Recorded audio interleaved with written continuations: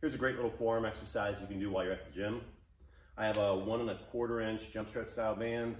I'm just going to lace it through the handle of a kettlebell. You could also do plates. Kettlebell works easier though.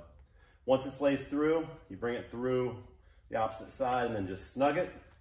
You place kettlebell right underneath the collar of a bar at about your shoulder height or slightly lower. I generally will throw a plate on the other side because as I'm doing this exercise, you don't want the bar to tip. With this band, I'm gonna lace it over the collar and then give it one little bonus wrap.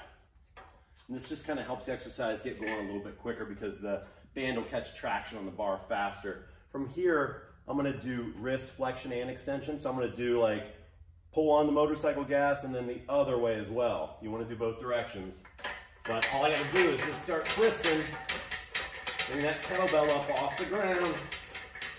You wanna take it all the way up to the top. When you're done, let it out with some control. And then repeat for the other direction.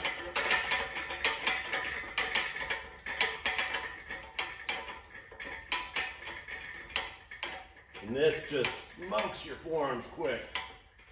Great little way to add some forearm work on arm guys.